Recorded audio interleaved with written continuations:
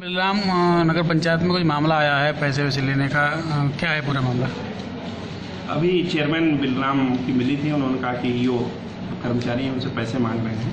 पहले दो चीज़ें हैं कि अभी तक सभी कर्मचारियों का वेतन उनके खाते में जाना चाहिए। और ये चेयरमैन और यो दोनों की ज़िम्मेदारी है।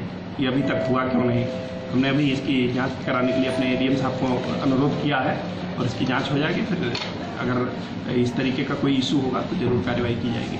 एक सस्पेंड कर्मचारी है डीएम साहब वहाँ पर उससे और वही सस्पेंड कर्मचारी वो पैसे माँगता ही है वहाँ के जो मजदूर हैं। जिससे भी कोई पैसा माँगता है और कोई पैसा माँगता है साक्ष्य दे और उसके खिलाफ फिर भ्रष्टाचार का मुकदमा दर्ज होगा जेल जाएगा।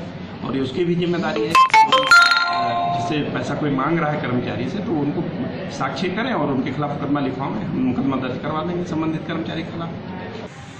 जी इसको हमने टैक्स वसूल पे लगाया था और उसने अपना कार्य नहीं किया। तो उसने हमारे आदेशों का उल्लंघन किया तो हमने उसको सस्पेंड कर दिया। फिर यो साहब उससे क्यों काम करा रहे हैं? जी अभी हमारी जानकारी में नहीं है कि वो उससे क्यों काम करा रहे हैं। अगर कोई नगर पालिका में अभिलेख गायब होता है इसकी ज़िम्मेदारी किसकी होगी? जी साहब की होगी।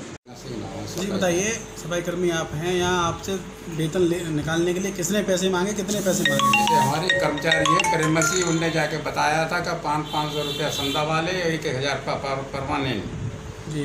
आ, तो वेतन मिल पाएगा? नहीं दिए तो वेतन नहीं मिल पाएगा। तो कौन किसके लिए पैसे मांगे थे? कौन वेतन कौन निकालता है कौन से मद के लिए मांग रही है हमें क्या जानकारी है साहब? नहीं तो- किसके कौन निकालता वेतन आपका?